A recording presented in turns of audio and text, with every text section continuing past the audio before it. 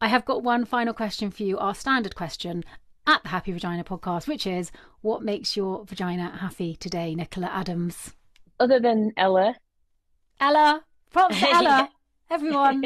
I think being able to be free myself, being able to be happy with the person that I am today, mm. and also being able to help other women feel invincible too. That's what makes my vagina happy.